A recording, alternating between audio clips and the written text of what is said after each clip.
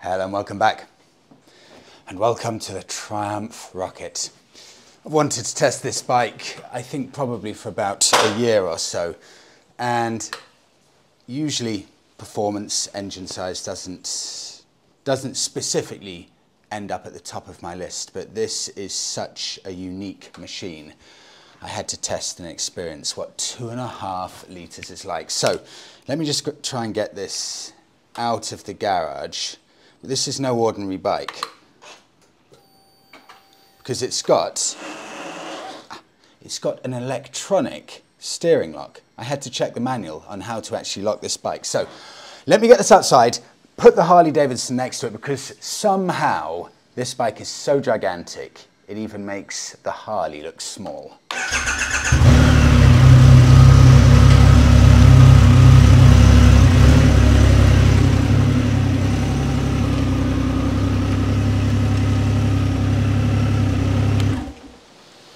It's intimidating.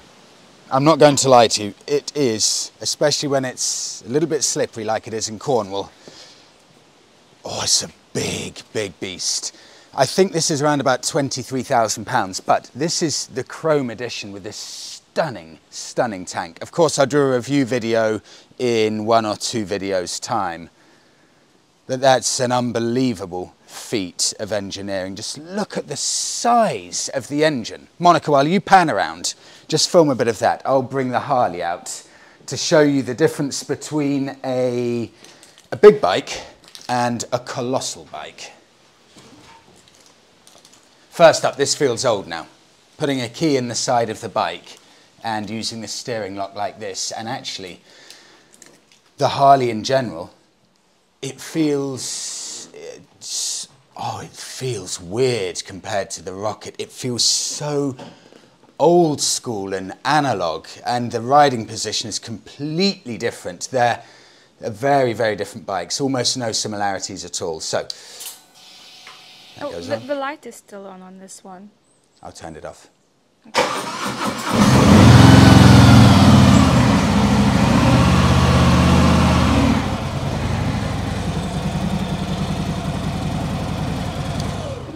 You may wonder why we're going out on this bike when it's a bit drizzly and a bit damp. That's because, fun fact here, I didn't realise this, Cornwall receives almost double the rainfall of East Anglia.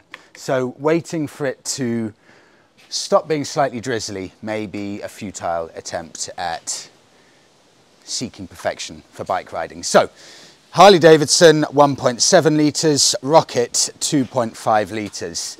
The difference in the physical size of this bike when you're sitting on it, and also, I mean, I'm almost dwarfed on this. Just the overall position, you can feel it. The weight is so much higher up on this bike, meaning that if you get into a tricky situation, look, watch this. Let's say I need to do a maneuver here and I need to push the bike. I'm not joking, I'm trying up the hill. Oh, oh, I've got to be like a powerlifter, pigeon steps. Okay, so that's that. And then watch on the Harley. Jump onto the Harley, still 317 kilos. I can almost run. So much more manageable. Mm-hmm. So this, on these tight lanes, got to be careful. We'll take you with us today Boy. because we'll go to a coffee shop, grab a coffee on the rocket, and we will then. I need to go into Falmouth to do a few chores. I'll take you with us, do a little bit of a day in Falmouth. Excuse the weather, it's extremely Cornish, but there is one thing I'd say. Cornwall may not specifically be famous for weather, but my lord, the beaches, the colour of the sea, completely unmatched anywhere in England. It really is glorious. Monika, come here, one more thing I want to show just before we head off. Wait, no, don't look, don't look. now come over. Too late. We were looking and wondering, where? Where's the foot peg here? Mm -hmm. Monika was in despair, thinking she couldn't come for a coffee with me just two days ago. She was in floods of tears. And I said, Monika, there's nothing to worry about. Watch this.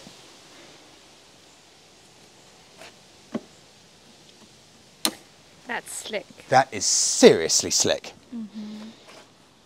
Yeah. The, the quality is, is completely exceptional on this. Okay, we'll get our stuff on, head off for coffee. Before we go, I know a lot of people are going to ask me which one I'd pick. There's around about a £5,000 difference in price between these two. Analog, completely futuristic. Rocket ship or old school vibes. Can I have an extra video just to decide? I'll do an extra couple of rides on the rocket and I'll make a decision about which one I would actually buy between the two of them. But this is just to rub it in because I need to make the most of this because the Harley goes back tomorrow. This is £40,000 worth of motorcycles here together. I've never had anything like that amount in a garage. So this one day of, of crossover, I'll soak it all in.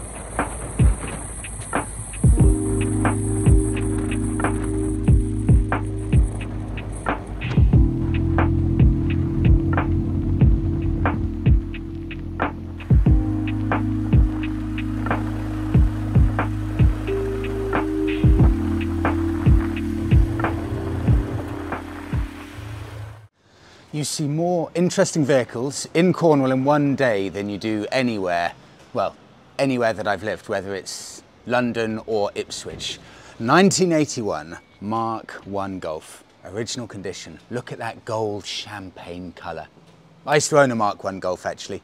Had to get rid of it because the bottom was so rusted it failed an MOT. And then I shipped it off actually, fun enough, everything's about Ireland recently. I shipped it off to a gentleman in Ireland who was planning to restore it. I love that vehicle. And I'll show you one more, Monika, from, can. I say this, the year you were born. Okay. Toyota Space Cruiser. Mm -hmm. Just the name as well, it's so of its time, isn't it? Mm. Space Cruiser, equally as special. Yesterday we were here. If it's still here, I'll show you. There's a, I think BMW, I think it's an R65 up here as well. It's a treasure trove of classics. But you know, the difference here is these are classics, maybe apart from this one, that are actually being used all the time. The amount of these cool old vehicles that people just use on a daily basis, not tucked away in a garage or something, out there, being used as transport the way it should be. It's fantastic. I turned on rain mode, probably for the best. And you have to think differently on this bike. Going down a tight country lane and there's a car coming up the hill and I was thinking to myself, please, my lord, stop. Because there's no way I'm going to be able to maneuver this backwards with two people on the bike. Luckily they stopped and pulled over, but you've got to seriously plan ahead because if someone's coming the other way and they expect you to just reverse back a bit because you're on a bike, it's not going to happen. It's, well, it's got a bigger engine, I would guess, than 95% of cars currently sold and on the market. And there is zero chance this is being slow maneuvered anywhere unless, worst case scenario, you have to just lean yourself into a ditch and hope that you can pull yourself back out like that. But apart from that, forget it. There's no reversing at all on this unless you're, I would say, seven feet tall and about 120 kilos, and you can literally put your legs at that kind of angle.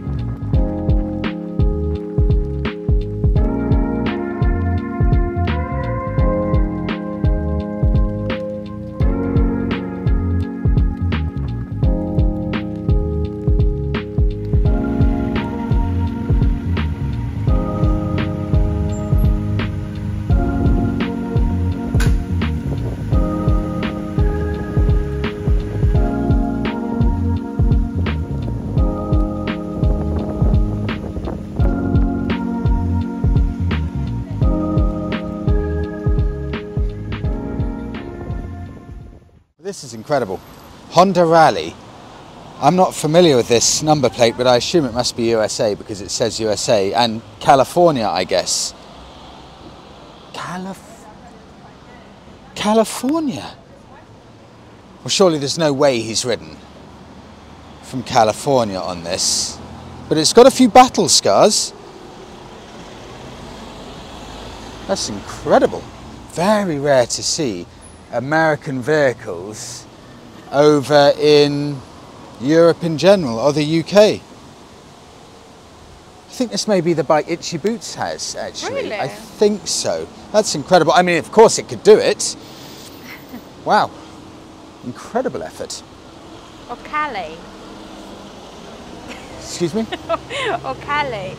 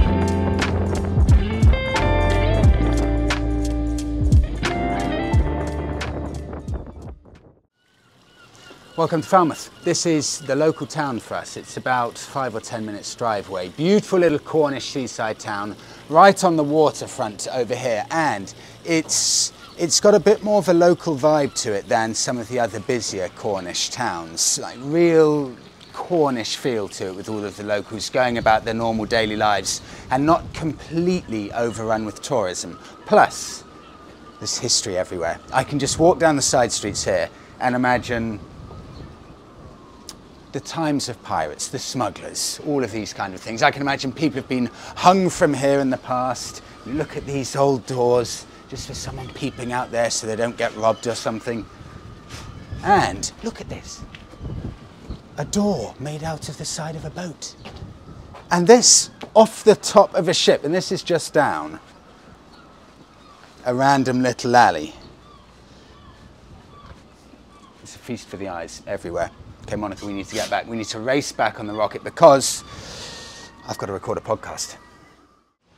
Dinner sorted. I massively recommend these. Cornish Bakery in Falmouth. Onion bhaji, cauliflower. Something cauliflower, onion bhaji pasty. Oh, they're exquisite. The rocket as well. Just initial thoughts. Actually, it's perfectly manageable once you get moving. Head turner of a bike ridiculous head turner. So going to get back, gorge my pasty, get on with the podcast, and we'll wrap it up there. Thanks so much everyone for watching, and we'll see you all in the next one. Still, got about five days left. Still from Falmouth. I'll see you then.